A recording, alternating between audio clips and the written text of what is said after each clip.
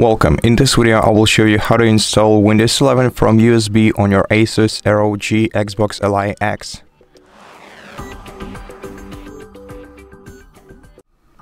In order to perform this kind of operation you're gonna need a uh, USB flash drive that supports USB Type-C connection type. Uh, in my case I'm using this Kingston Frankenstein, I don't know its name, uh, but uh, uh, yeah, uh, it just uh, it's it's a USB flash drive in which you insert the micro USB, um, the micro SD card, and uh, and then you can flash uh, your device using it. Unfortunately, I tried uh, inserting the um, micro SD into the device uh, to see if if it uh, if the BIOS can see it, and unfortunately it didn't uh, work for me. So so yeah, I recommend trying to do to do the same thing with the with the U USB flash drive with the USB type C connection type. And the other thing that you're gonna need is the uh, PC uh, the other PC uh, in which you're gonna have to insert this USB uh, flash drive in order to boot a uh, an ISO image on it so that we can uh, we can get the uh, the Windows 11 copy to install on this device. Now, uh, what you have to do first is, uh, well, switch to your uh, PC on which we're gonna be creating an ISO image. Okay, so we are here right now. Uh, the first thing that we're gonna have to do is open the web browser and search for uh, Windows 11 ISO download find the official Microsoft.com website that says download Windows 11 and open it. And here scroll down to download Windows 11 disk image and uh, expand this list select Windows 11 multi edition and click confirm. Uh, then select the product language from the list and click confirm once again. Wait until your request is validated and now once you see the 64-bit download button right here, just click on it and wait until your ISO image is downloaded. It can, well, take a lot of time. Oh yeah, and uh, the two two important things. First of all, you're gonna need 7.2 uh, gigabytes of uh, storage on your uh, USB flash drive and second thing, if you have any personal files on your uh, flash drive, back them up somewhere else because we're gonna need to format this uh, device. Uh, and now about formatting and everything else, uh, we are also gonna need to use the Rufus program. So look it up uh, in your uh, in Google or any other search engine. Uh, the official website is rufus.ie. Open it, then you have to scroll down to download section and download the latest version, which is at the very top of the list. Just click on it and uh, open your download history and try to run this program. And if it doesn't start, uh, you can click no, we are not gonna need it. Uh, uh you can, uh, well, download the Rufus and in case Rufus doesn't start, just download this x86 version and it will surely work on your computer. Okay, so now in the Rufus program, we're gonna need to select the device. Uh, the device is the USB flash drive that you have connected to your PC that we're gonna need for the ISO image, for the bootable ISO image. So select your USB flash drive right here. And once your ISO image is downloaded, we're gonna have to select it by clicking select and selecting it from the downloads folder. Well, as you can see that we have 30 seconds left, so once the ISO image is downloaded, click select right here and then click on your ISO Windows 11 image to to use it. Then you don't have to, to change anything here. We're gonna not gonna need any of this. Just click start. Don't check any checkboxes and if you have uh, anything checked here just uncheck all the checkboxes and click OK then you, we're gonna have to wait for a pop-up window okay here it is or pop-up notification. Uh, so this is the warning that everything will be formatted on the USB flash drive. So if you have, haven't hadn't done this already, uh, back up all your data uh, somewhere else from your USB flash drive if you have any data on it. Then click OK and then we're gonna have to wait until the status bar right here says ready.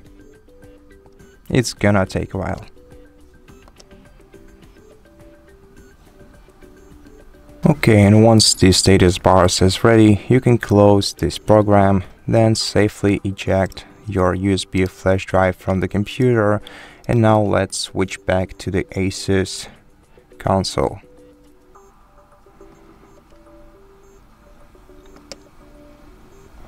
Okay, uh, now eject your USB flash drive from the computer and insert it into the console into one of the available USB Type-C slots. I also highly, well, uh, also plug in the charging cable into your console so that it charges. It's so that it's charging in, uh, during the in Windows installation process. And now to start the process you have to press the power button once. Uh, uh, once your your tablet uh, your uh, console is uh, switched off. And then start repeatedly pressing minus or vol volume down button until the bi uh, BIOS menu appears on your screen. And in the BIOS menu what we want to do is tap boot menu right here. And now uh, you, you can see Windows Boot Manager which is uh, the system of your device uh, that's not something that we need. It's, it's just the SSD installed in, into your device.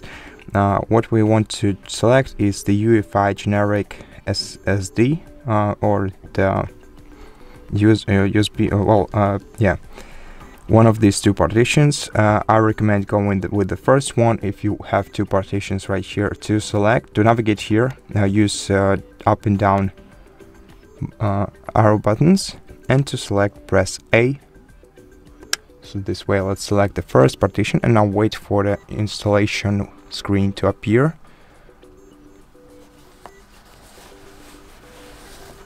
Okay, now you can see the installation screen, though I can see that it's barely visible, so let me just zoom in the camera. Okay, so uh, now you can basically use the touchpad you have on the on the console, but let me let me focus the camera. Give me a moment. Okay, so as you can see we have language to install which we have already ch uh, chosen so we cannot change it. But you can expand this list and well try to choose the, the time and currency format.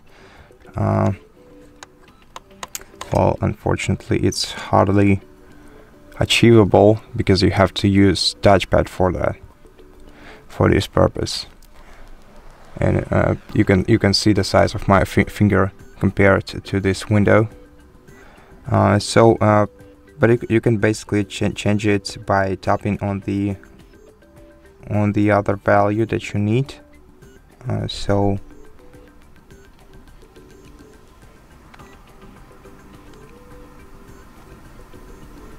Where's the US?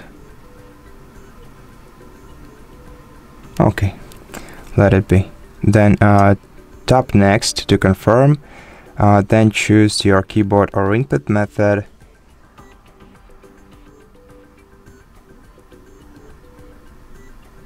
Again from this list.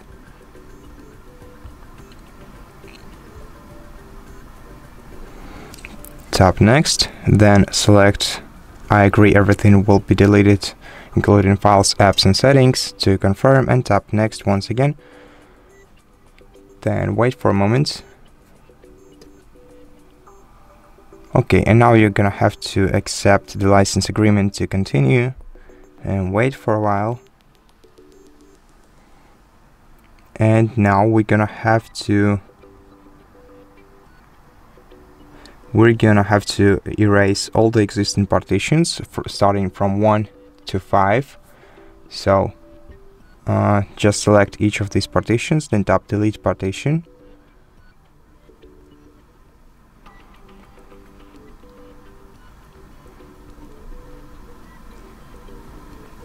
And once the all the partitions are erased uh, you can tap next to proceed. Then tap install. Once again make sure that your device is has a charging cable plugged into it. And now you just have to wait until the Windows 11 is installed and then we'll uh, go further to the uh, well then you're gonna have to see the setup screen on your device